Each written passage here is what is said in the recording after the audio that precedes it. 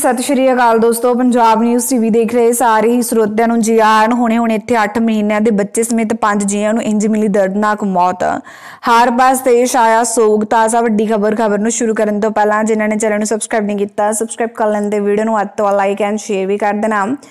ਵਰਕਲਾ ਦੇ ਦਲਵਾਪੁਰਮ 'ਚ ਇੱਕ ਮਕਾਨ 'ਚ ਅੱਗ ਲੱਗਣ ਕਾਰਨ ਇੱਕ ਬੱਚੇ ਸਮੇਤ ਪੰਜ ਲੋਕਾਂ ਦੀ ਸੜ ਕੇ ਮੌਤ ਹੋ ਗਈ। ਪੁਲਿਸ ਨੇ ਦੱਸਿਆ ਕਿ ਜੇ ਆਪਾਂ ਉਤਨ ਕਿ ਅੱਗ ਦੁਰਘਟਨਾਵਨ 'ਚ ਲੱਗ ਗਈ ਇਲੈਕਟ੍ਰੋਨਿਕ ਤੇ ਫਰੋਕਸਿੰਗ ਮਾਹਰਾਂ ਦੀ ਰਿਪੋਰਟ ਮਿਲਣ ਤੋਂ ਬਾਅਦ ਹੀ ਅੱਗ ਲੱਗਣ ਦੇ ਸਹੀ ਕਾਰਨਾਂ ਦਾ ਪਤਾ ਲੱਗ ਸਕੇਗਾ। ਦੋ ਮੰਜ਼ਿਲਾ ਮਕਾਨ ਦੇ ਵਿੱਚ ਵੱਖ-ਵੱਖ ਕਮਰਿਆਂ 'ਚ ਕਮਰਿਆਂ ਦੇ ਵਿੱਚ ਲਾਸ਼ਾਂ ਬਰਾਮਦ ਕੀਤੀਆਂ। ਪਰਿਵਾਰ ਦੇ ਇੱਕ ਹੋਰ ਮੈਂਬਰ ਨੂੰ ਨੇੜੇ ਦੇ ਹਸਪਤਾਲ 'ਚ ਦਾਖਲ ਕਰਵਾਇਆ ਗਿਆ। ਉਸ ਦੀ ਹਾਲਤ ਗੰਭੀਰ ਹੈ। ਅੱਗ ਵਿੱਚ ਮਾਰੇ ਗਏ ਪ੍ਰਥਾਪਰ 62 ਸਾਲ ਪਤਨੀ ਸ਼ੇਰਲੀ 52 ਸਾਲ ਨੂੰ ਅਬਰਾਮੀ 24 ਸਾਲ, ਛੋਟਾ ਪੁੱਤਰ 27 ਸਾਲ ਤੇ ਅਬਰਾਮੀ ਦਾ 8 ਮਹੀਨਾ ਦਾ ਬੇਟਾ ਰਿਆਨ ਵੀ ਮਾਰਿਆ ਗਿਆ।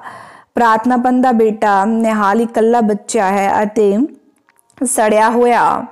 ਜੀ ਹਾਂ, ਸੜਿਆ ਹੋਇਆ ਜੋ ਕਿ ਹਸਪਤਾਲ 'ਚ ਦਾਖਲ ਕੀਤਾ ਗਿਆ। ਸਥਾਨਕ ਲੋਕਾਂ ਮੁਤਾਬਿਕ ਤੜਕੇ ਉਹਨਾਂ ਦੇ ਘਰ ਦੇ ਸਾਹਮਣੇ ਤੋਂ ਅੱਗ ਦੀਆਂ ਲਪਟਾਂ ਤੇ ਧੂਆ ਨਿਕਲਦਾ ਗਿਆ। ਉਹਨਾਂ ਨੇ ਪਰਿਵਾਰ ਵਾਲਿਆਂ ਨੂੰ ਵੱਧਦੇ ਪਰ ਕੋਈ ਜਵਾਬ ਨਹੀਂ ਮਿਲਿਆ। ਮੌਕੇ ਤੇ ਪਹੁੰਚ ਕੇ ਫਾਇਰ ਬ੍ਰਿਗੇਡ ਨੇ ਕਾਮਿਆਂ ਦੇ ਘਰ ਦੇ ਪਿੱਛੇ ਦਾ ਦਰਵਾਜ਼ਾ ਖੋਲ੍ਹਿਆ ਤੇ ਅੰਦਰ ਗਈ ਡੀਆਈਜੀ ਆਰ ਨਿਸ਼ਾਂਤੀ ਨੇ ਘਰ ਅੰਦਰ ਨਿਰੀਖਣ ਕੀਤਾ। ਉਹਨਾਂ ਦੱਸਿਆ ਕਿ ਉੱਪਰ ਦੇ ਕਮਰੇ ਪੂਰੀ ਤਰ੍ਹਾਂ ਸੜ ਕੇ ਸੁਆਹ ਹੋ ਗਏ ਨੇ।